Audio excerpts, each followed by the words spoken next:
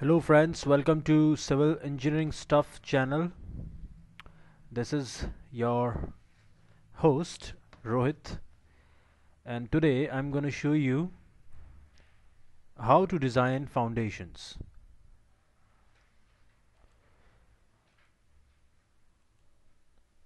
Uh, foundation as you all know they are the structures which uh, acts as an interface between the superstructure and the ground. That is they transfers the load of the superstructure to the ground. Okay? And uh, today I'm going to show you isolated footing design. As you all know that uh, there are four to five types of foundations like uh, isolated mat pile combined uh, strip foundations. So the first one of the series uh, is isolated which I'm going to show you. Okay so first of all uh, we will make a superstructure a simple superstructure.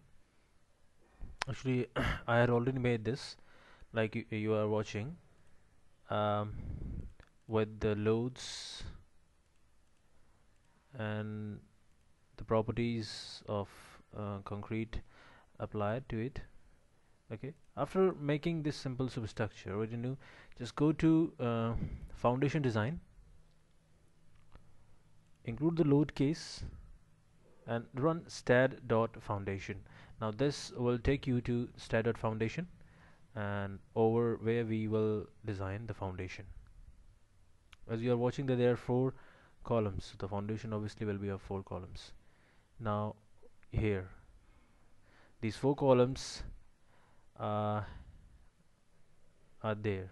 Alright okay. Now we will have to actually design this. Means design means we will uh, find the plan uh, plan dimensions of these foundations and uh, the reinforcement whatever you know. So for this actually what you have to go just go to job setup create a new job and name the job as isolated footing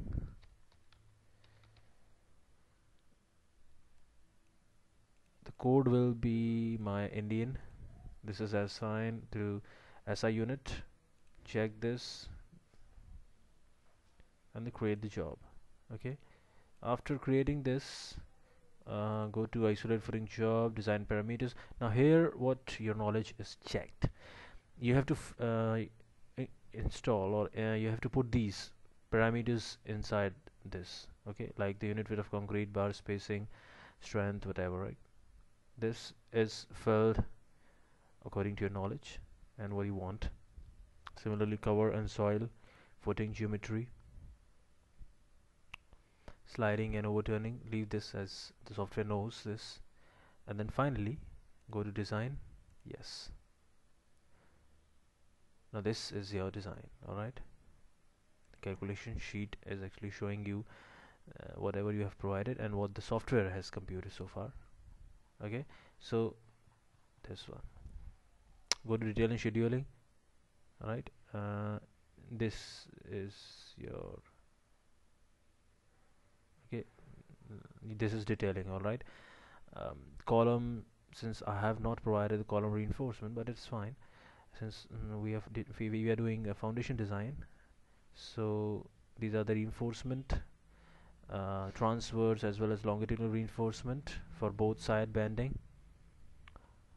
And the clear cover is showing here as 50 mm the depth of foundation has been computed by the software elevation you know. So this is uh, this is a plan of your foundation bottom reinforcement spacing right? Similarly just go to GA drawing and this is something you know the very top plan. Okay? Finally uh, this is your output actually what you want alright that the software has computed the plan dimensions as length width thickness of the four footings.